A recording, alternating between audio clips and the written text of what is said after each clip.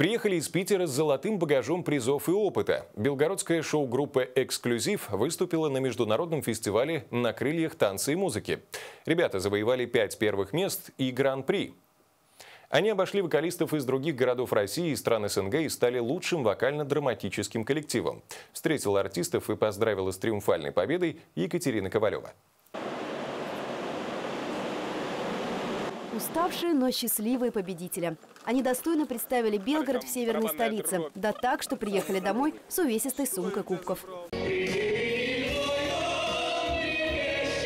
Печаль по-прежнему сжимает грудь мою.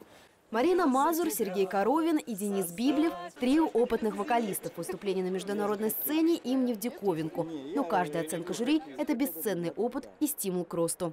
На мой взгляд, было э, достаточно сильное судейство, э, и было очень интересно послушать их. Люди говорят, вот вы классные, а вот это вот в это нужно еще исправить. И мы с такой мотивацией приехали, воодушевленные. Будем работать. Да, нет предела да, совершенства. Нет предела совершенства.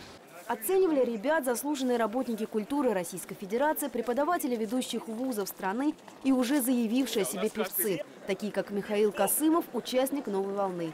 Нешуточная борьба развернулась в номинации «Сольное исполнение». Сразу три артиста из белгородской вокальной группы спорили за первенство с вокалистами из городов России и стран СНГ.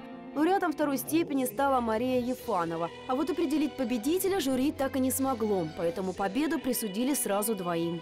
Конкурс очень понравился, очень была хорошая конкуренция, даже несмотря на то, что мы конкурировали друг с другом. Была больше борьба с самим собой, потому что прежде чем выйти на сцену, нужно было провести огромную внутреннюю работу, поворот все волнения, вспомнить все, чему тебя учили. Елена Захарова защищала честь Белгорода в средней возрастной категории. Выступление в конкурсе международного уровня – первый серьезный опыт. Перед конкурсом я болела, и я ехала на, кор на конкурс, не до конца долечившись. И я очень переживала, что не все получится. Но я собралась, я выложилась на все сто процентов. Выкладываться на 100% – таков девиз вокально-драматического коллектива. Они выступали не только с отдельными номерами, но и выходили на сцену вместе и доказали, что им нет равных.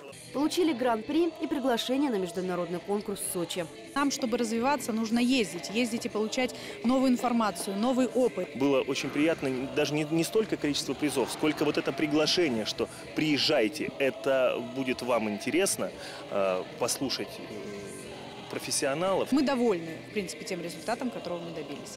Международный конкурс в Сочи пройдет в феврале 2016 года. Артисты говорят, что это новый уровень, который станет еще одним шагом к большой сцене. Екатерина Ковалева, Дмитрий Коваленко. Новости мира Белогорья.